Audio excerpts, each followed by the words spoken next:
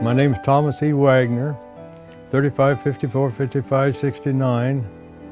Uh, I was in the 147th Engineer Combat Battalion, and we were amphibious. It was Special Forces.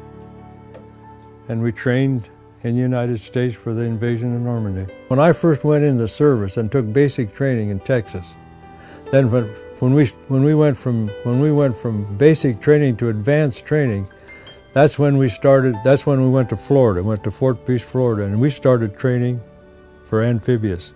That's when we were in, and we didn't know that, but we were planning, they were training us for the invasion of Normandy at that time. Then we went to, we went to Virginia, and we trained in, we trained in Virginia the same way on the Higgins boats and all these boats.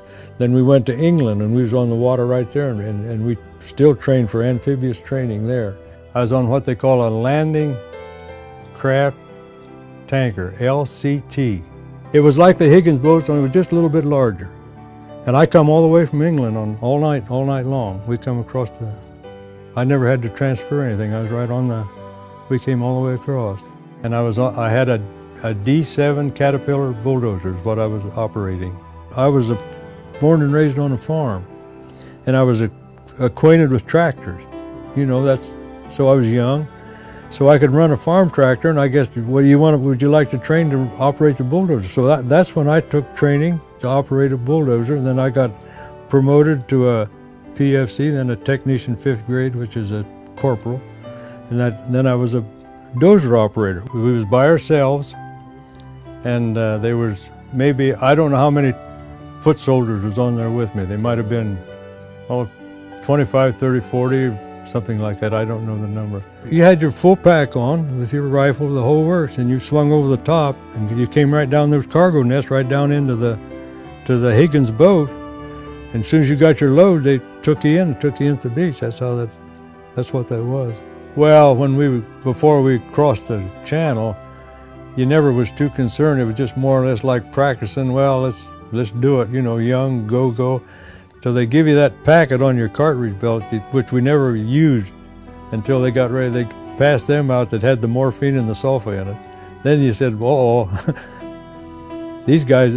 There's a chance that you're going to get hit. You know, there's something could, could happen to you, and that's really the first time that I ever give it too much thought that it was just going to be a walk in the park.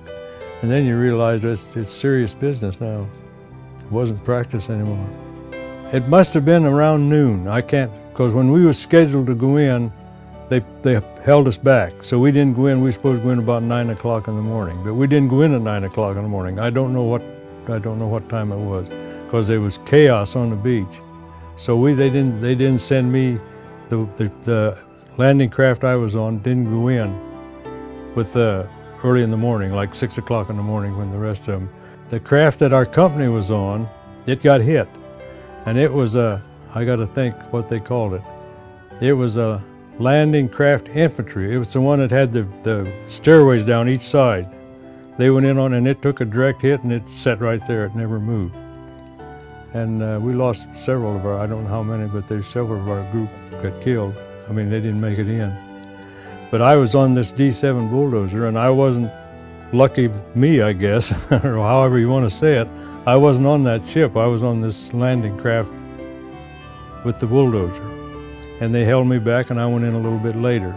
We knew that there was trouble on the beach before we went in. We knew there was everything was backed up. What was supposed to happen on the beach wasn't happening. I remember it's just a circling out there and uh, the destroyers was out there since daylight, shooting over the top of our head, we could hear the shells going in. And we was out in the water, you know, we really, you really didn't know what was going on until you got on the beach. When they let that ramp down on that landing craft, then, then that's when you, that's when you could see the beach and could see what's going on. When you go to the movies and see this sort of thing, you see the whole picture. But when we went in on that boat, we seen how much on each side. Not we didn't we didn't see the picture like they like like you see it in the movies. All we seen is just right straight ahead what you had to do. First thing I done was was uh, leveled that road out and got that road where the tanks can and so the tanks could get on in and go. Another job that what we did, the landing craft would come in and they'd drop their the Higgins boat. They would drop down. Well, maybe they maybe they couldn't get back out. Maybe they put them in reverse. They couldn't get back out. we'd go out there and shove them, uh, we'd go out there and shove them back out in the water so they could get back out. And that's how I got, that's how I got hit with a teller mine. I, I run over the tractor with a teller mine.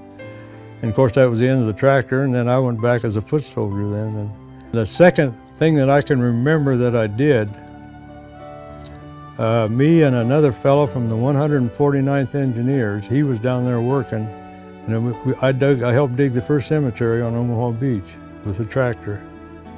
And we dug the width of the tractor.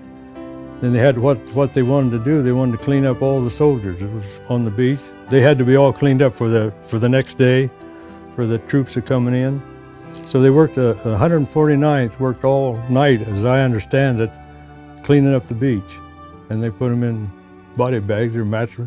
To me, they wasn't body bags then, there was mattress covers is what we called them. And they buried them right on the beach. And there's a marker there that the first cemetery on Normandy Beach, is, it's still marked to this day, it's there. Those hedgehogs that they had up there. Now that's what I hit was one of those teller mines. It's, I guess it was about 14 pounds of TNT that set on. It got knocked off and was laying in the beach and I run over with the tractor and of course I blew the tractor up and blew myself up with it. That's it. That, that's, that's how I got the, I got hit in the, my eye and side of my face. They had machine guns on those beaches and they, they was crossfire, you know, they'd shoot, they was what they call crossfire like that. And you couldn't get, it was almost impossible for those rangers and those infantry to get on the beach. They just couldn't make it. They'd mow them down. I'm sure that there's a lot of them could have been helped had there been facilities there, but there were, there just were no facilities.